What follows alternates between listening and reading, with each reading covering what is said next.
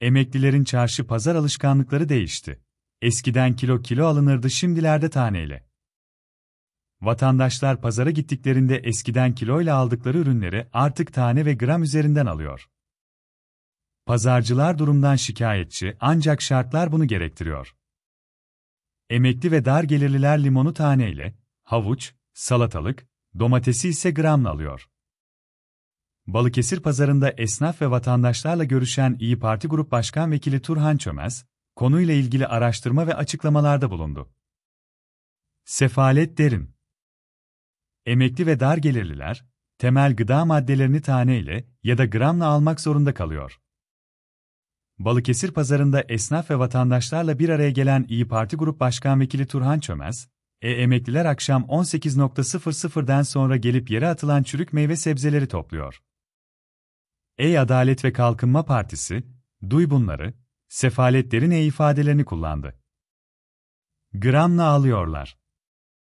Pazarcı esnafı, vatandaşların alım gücünün düştüğünü vurgulayarak, e eskiden kilo ile alırlardı.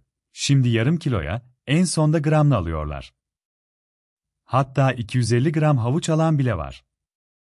Limonu ise tane ile istiyorlar e dedi.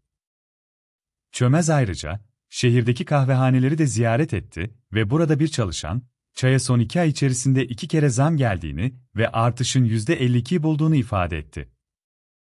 Şeker zammını ise takip dahi edemediklerini vurgulayan çalışan, e-su, elektrik ve doğalgaz fiyatları da yükseldi, kiralar arttı. Kahveye gelenler, gazete okuyup çay bile içmeden gidiyor, ev şeklinde konuştu. Müşteriler sarımsak pahalı diyor.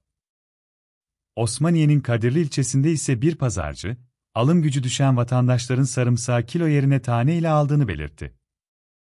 Sarımsağın fiyatının 80 ile 200 lira arasında değiştiğini ifade eden pazarcı, e-müşteriler pahalı diyerek yalnızca iki kelle alıyorlar e dedi.